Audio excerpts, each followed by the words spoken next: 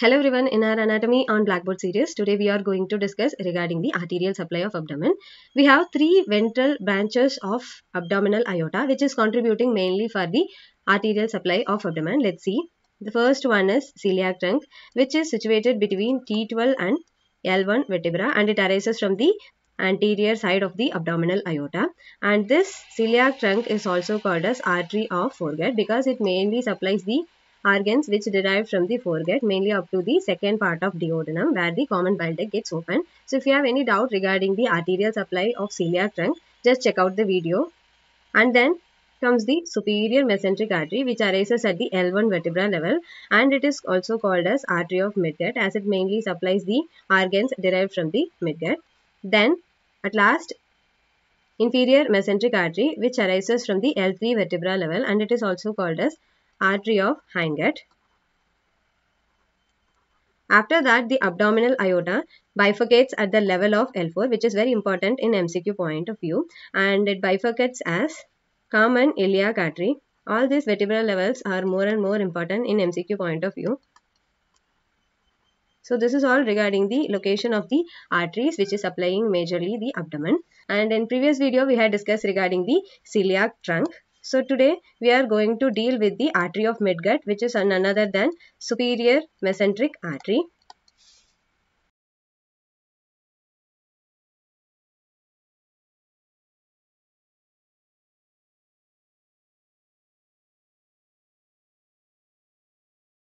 So now let's see the parts supplied by our superior mesenteric artery. In previous video we had seen that up to the level of uh, opening of the common bile duct. It is completely supplied by the celiac trunk. And now from here from the second part of duodenum below the opening of the common bile duct it is supplied by superior mesenteric artery followed by jejunum here then followed by ileum. And from there it also supplies appendix cecum and ascending colon. This is the ascending colon. And it also supplies the transverse colon but it supplies only the two third of the transverse colon up to this. And in previous video we had seen that the upper part of the pancreas is supplied by celiac trunk.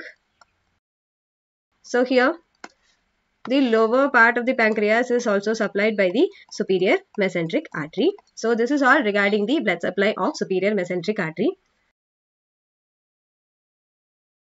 So I'm just repeating it again from the second part of duodenum and it uh, goes, it also supplies the jejunum, then it also supplies the ileum here and it uh, also supplies the appendix and cecum and it, it also supplies the ascending colon and it also supplies the two-third of the transverse colon up to this margin and uh, in, in the supply and in the blood supply of pancreas, the upper part is supplied by the celiac trunk and this lower part is completely supplied by superior mesenteric artery.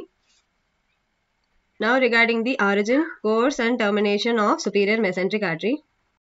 So you just have some rough imagination regarding the origin and course and in while discussing regarding the branches we will see in detail. So we all know that this superior mesenteric artery originates from the L1 vertebra which is almost 1 centimeter below the celiac trunk. Celiac trunk will be here and superior mesenteric artery is here and from there this superior mesenteric artery runs behind the body of pancreas. So you just imagine that the pancreas is here and the superior mesenteric artery run behind the body of pancreas like this like this. And it enters the third part of duodenum. As we know that second part would be here and third part would be crossing like this so here this third part of duodenum is there. And here this superior mesenteric artery crosses the third part of duodenum. And it enters the root of mesentery. Mesentery is a peritoneal wall. And it finally terminates in the right iliac fossa. You just imagine that the right iliac fossa is here and this superior mesenteric artery after crossing the duodenum it enters the right iliac fossa. And in the right iliac fossa it gets anastomosed with the ileocolic artery I will explain you later regarding the ileocolic artery. So now regarding the origin course and termination of superior mesenteric artery, it originates from the L1 vertebra level in the front of abdominal aorta, which is 1 centimeter below the celiac trunk. Celiac trunk is the artery of foregut. And from there, the superior mesenteric artery runs behind the body of pancreas and it reaches the third part of duodenum. And in third part of duodenum, it enters the mesentery and it reaches the right iliac fossa at last and there it gets anastomosed with the branches of ileocolic artery and this is roughly regarding the origin course and termination of superior mesenteric artery. let us discuss regarding the branches of superior mesenteric artery. In superior mesenteric artery, we have right side branches and left side branches. Right side branches, first one is inferior pancreatico-duodenal artery, then middle colic artery, then right colic artery, then at last ileocolic artery. This is the artery where this superior mesenteric artery finally gets anastomosed in the right iliac fossa which, which we had seen previously. And this left side gives branches around 12 to 15 jejunal and ileal branches. So, remembering the branches of the major arteries are also important in MCQ point of view. So, you just remember it as MRI2. Okay, so M is middle colic artery, R is right colic artery, and I, both of the I belongs to inferior pancreatico-duodenal artery and ileocolic artery. So these things are more and more important.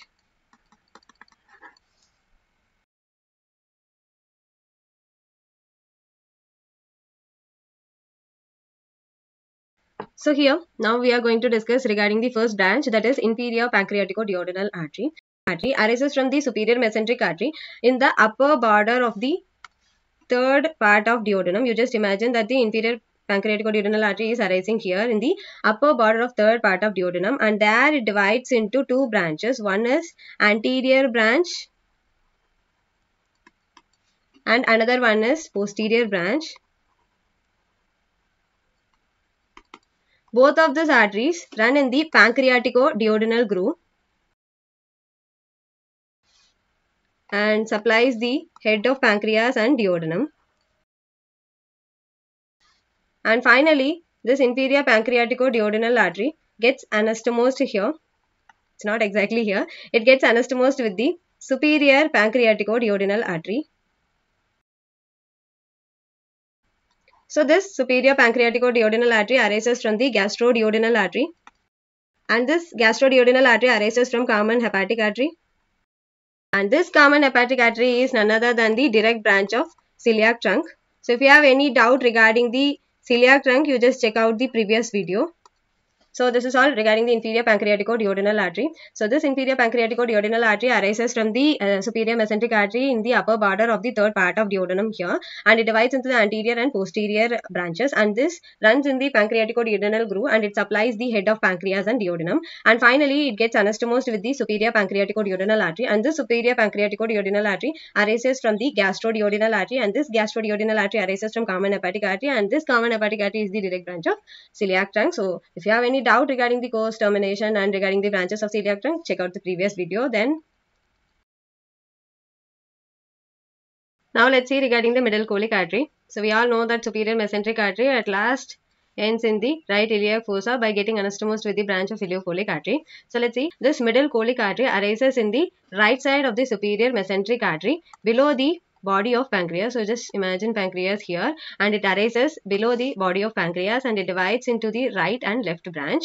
So this is the left one and this is right one. This left one anastomoses with the left colic artery and this left colic artery arises from the inferior mesenteric artery. We will discuss regarding this inferior mesenteric artery in the next video.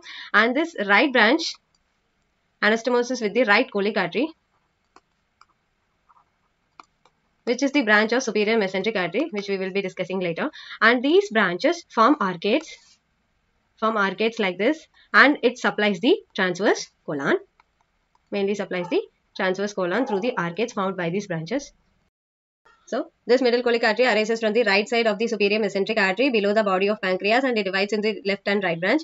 And left gets anastomosed with left colic artery which is a branch of inferior mesenteric artery and right gets anastomosed with the right colic artery which is a branch of superior mesenteric artery and it forms the arcades here and it supplies transverse colon.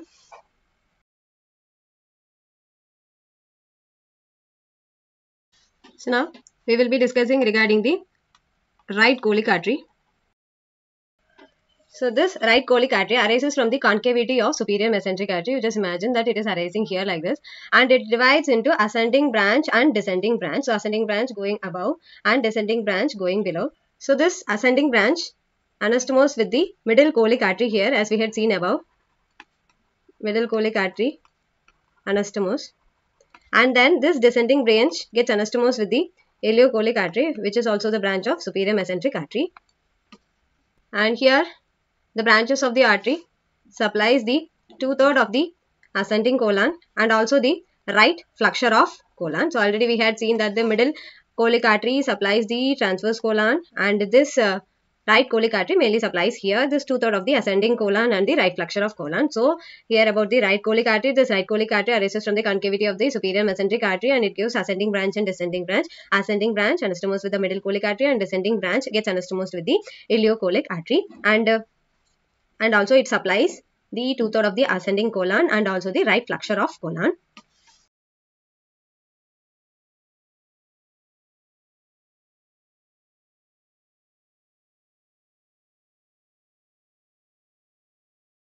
So now let us discuss regarding the ileocolic artery.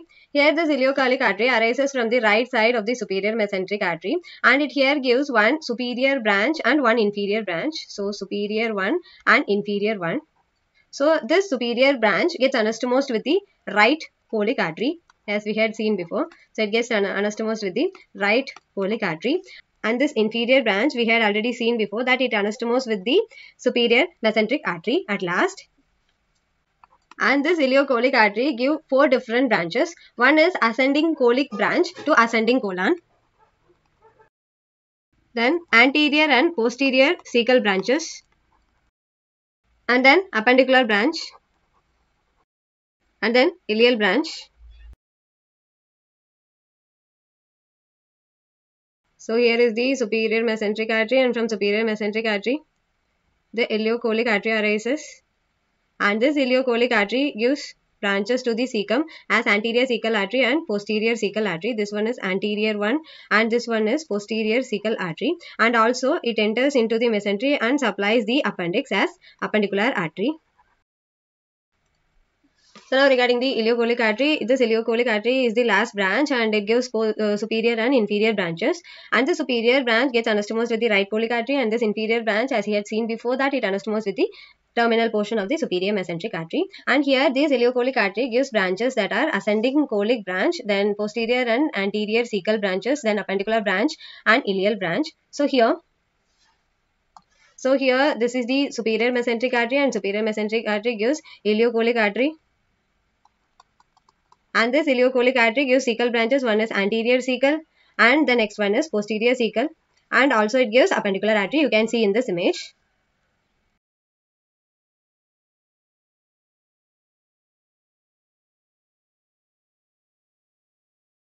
so here still now we have discussed regarding the right side branches of uh, superior mesenteric artery now regarding the left side branch that is jejunal and ileum branches so here there will be 12 to 15 branches which will be supplying both the jejunum and ileum. And here these anastomose with each other and forms the arcades like this. Which is none other than vasa recta. So you just imagine that uh, this is the jejunal or ileal wall. And here because of the anastomosing between these vessels we can see the arcades like this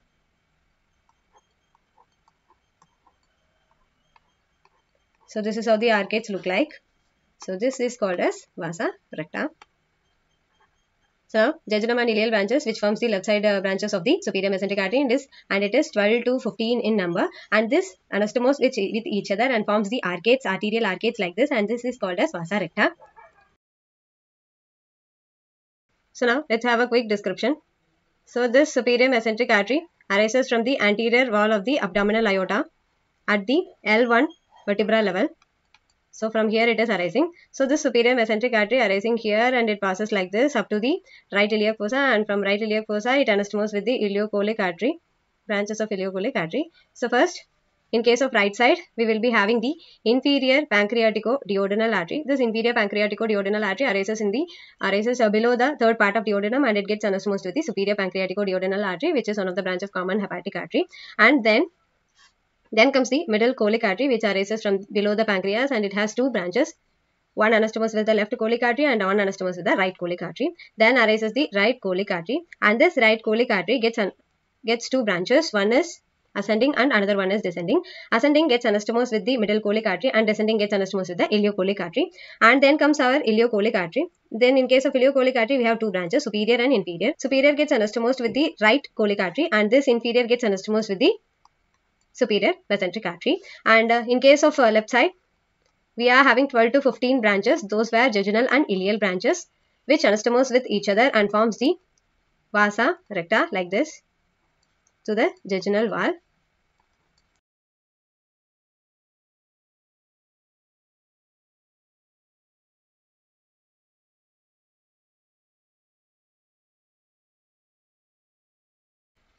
So this is all regarding the superior mesenteric artery and if you have any suggestions or queries regarding the topics to be discussed or any doubts regarding any particular topic, we will continue the discussion and thank you so much. Happy learning with us.